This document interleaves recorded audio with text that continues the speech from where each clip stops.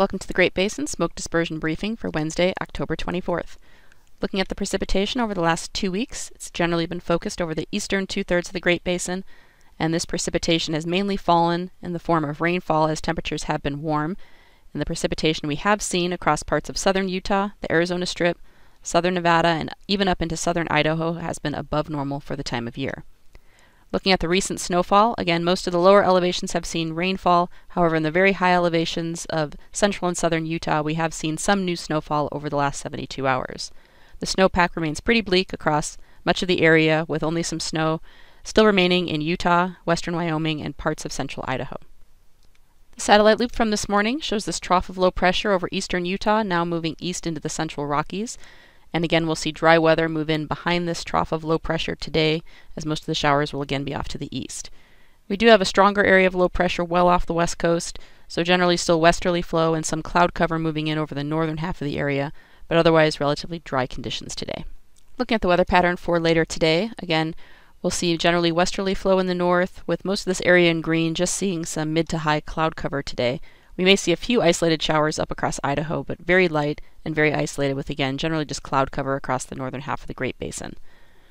Dispersion will remain quite poor over southern areas where winds will be decreasing and generally moderate in areas further north. Looking at the transport winds for today, you can see generally light to no wind really across much of the southern half of the Great Basin, with more light to moderate winds over parts of northern Nevada into central Idaho. Mixing heights will remain quite high over the higher terrain of Utah into southern and central Idaho, and generally lower with valley inversions in other locations. As we move into tomorrow, we do see a ridge of high pressure starting to move in across the Great Basin, so we will continue with warm and dry conditions, where temperatures will be increasing over the next several days and generally just remain 5 to 10 degrees above normal. Dispersion also remain still generally good over parts of Utah as we'll see more of north to northwest flow behind the trough of low pressure. However, over the western half of the Great Basin, very light winds and poor dispersion. And again, you can see that reflected in the image on the left, those gusty northwest winds, generally in the higher terrain of Utah and into parts of southwest Wyoming and even into southern Idaho with much lighter winds further west. Also, mixing heights will remain higher over the eastern half of the area and remain fairly low over western Nevada and the Sierra. As we move into Friday, we see that area of high pressure start to flatten as that trough of low pressure starts to approach the west coast. We will see some cloud cover move into parts of Idaho and maybe even some showers, especially over the central Idaho mountains, with a little bit better dispersion as that moisture and those breezier winds move in.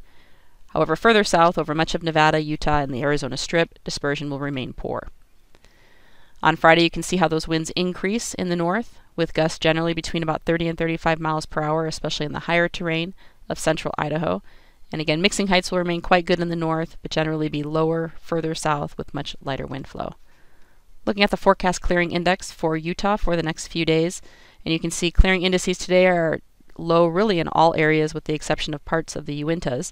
And then they will increase on Thursday in the higher terrain, especially as those winds increase out of the north and northwest, and then decrease more significantly again on Friday, especially in the lower elevation areas under valley inversions. However, the clearing indices will still remain relatively high over the higher terrain, especially over central and northern Utah mountains. Forecast amount of precipitation, again, not really expecting much of anything, with the exception of possibly towards Friday up into central Idaho as that next area of low pressure starts to move across the region. As we move into the weekend, we will see high pressure return to the Great Basin with warm and dry conditions and generally lighter winds. Therefore, dispersion will remain poor, especially over the southern half of the area, and still more in the moderate to high range over parts of northern Utah into Wyoming with breezier northwest winds.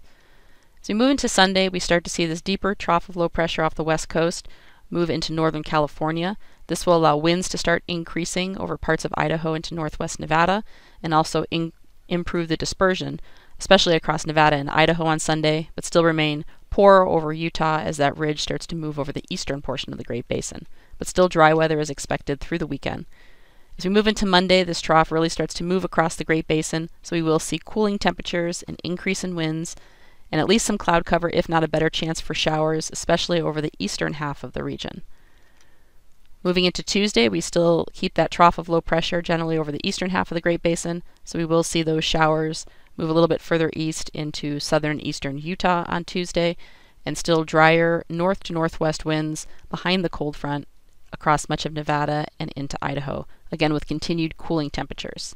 This also opens the door for additional cold fronts to move through from the middle to late of next week.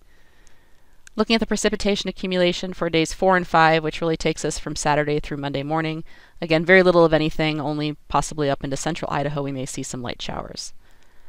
Looking at the 8 to 14 day outlook, taking us into the first week in November, we're looking for below normal temperatures, potentially over the eastern half of the Great Basin, which makes sense looking at the models and some of those additional cold fronts that will eventually drop down from the north, and then a better chance of near to above normal precipitation over the eastern half of the area.